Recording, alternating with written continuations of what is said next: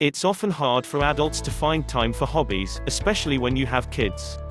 Usually, any free time you have gets spent on your kids' preferred activities. That said, it's really important to carve out at least one thing for yourself. It could be knitting, basket weaving, or just gardening. While springtime is the best time to start on seeds and outdoor vegetables, indoor plants can help keep you company all year long. Plants should be incorporated in any house.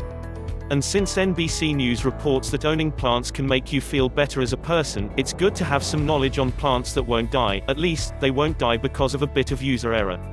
I, personally, love plants and can't leave Home Depot without a new green buddy. Plants that won't die all that easily will also make your living space much saner, especially if you're cooped inside. As humans with a lot going on, we may forget about our plants due to other big concerns. Hello, coronavirus. Other times, we might be watering them too much. Obviously, plants can't talk. You can eventually figure out when they're too hydrated, but it may be a tough call at the moment. That still should never serve as a reason not to buy a handful of new indoor plants. Here are 10 types of plants to be on the lookout for. 1. Chinese evergreen. The Chinese evergreen is known as a beginner's plant, but even if you have established your green thumb, they're still great to have indoors. They require low light and low water. So if you're currently living in a place that the sun doesn't seem to hit, consider buying a Chinese evergreen to keep your home looking lively. 2. African violets. If flowers are your thing, you're probably pretty familiar with African violets. They come in a small variety of colors, although purple is one of the most popular. While they prefer a lot of light, they don't need all that much in order to survive. The soil should stay lightly moist. The main water issue with African violets is making sure that water doesn't stay on this plant's leaves for long, since they might end up rotting. But that's fairly easy to watch out for. 3. Spider plant. If you were ever in an elementary school classroom back in the 80s or 90s, you're probably familiar with spider plants. They are super cute, and they were very common back then. Each plant had babies that students could take home. Why not bring spider plants back into your life? These are quick to grow and require only occasional water and a little bit of indirect sun. 4. Aloe plants. Listen, I'm going to be honest here, I did accidentally kill an aloe plant once, but that's because I didn't realize how little water it needed. Aloe plants are amazing, since they provide so much and require so little. They do enjoy the sun, and they grow pretty quickly, so it's a plant worth adding to your collection. Just go easy on the water. 5. Ponytail palm.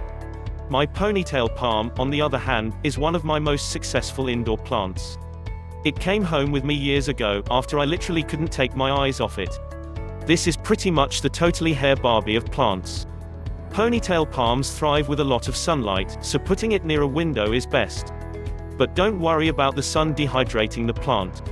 Their water needs are very minimal. If the plant starts rotting at the base, you've done too much. 6. Pancake plant. You might also know these best as being the Chinese money plant, or a pilea. The one issue is that they can often be hard to find. Apartment therapy thinks that the best way to get one is to take a cutting from a friend who's also into plants. But if none of your friends has one, you can also look online. It's a great investment, as it's a cute plant that doesn't require a lot of care or direct sunlight. 7. Philodendron. A philodendron's leaves will tell you whether or not you're watering too much or too little. Yellow means that it's getting too much water. If the leaves are brown, it needs more. Apartment therapy states that philodendron plants don't even need soil to thrive. They're also great at procreating, meaning that your philodendron can create even more philodendrons for your home, or even to give as gifts. Seriously, plants are fun gifts. 8. Yucca. Yucca plants are tall and glorious, and they can even survive in a drought. So if you're the type of person who forgets to water plants, a yucca may be your best bet. According to Plant Delights, they need only about an inch of water weekly in the spring and summer months. But they say that even if you wait a few years before watering it, it'll probably still survive. They also aren't very particular about the type of soil you plant them in. There's a bit of variety between plants, which means you can grab a bunch of them to liven up every room. 9. Christmas cactus. Another one of my most successful plants has been my Christmas cactus. Even better, my family has passed down generational cuttings. So my plant is an offshoot of a plant my great-great-grandmother had. And yes, I plan on passing it down, that is, if I can figure out how to take a good cutting. A Christmas cactus reportedly needs more water when it's flowering, but it can easily go some time without. Like many plants, this one may suffer from root rot if it's watered too much. 10. Crown of Thorns. This plant has two things going for it, its awesome name, and the fact that it's relatively easy to take care of. It does like to be in the sun, but it's forgiving if you forget to water it. Sadly, this isn't a great plant if you have pets or small children. The plant is poisonous to them, and you should also wear gloves while handling it. But if you live alone, and you like plants with a side of danger, feel free to home a few of these.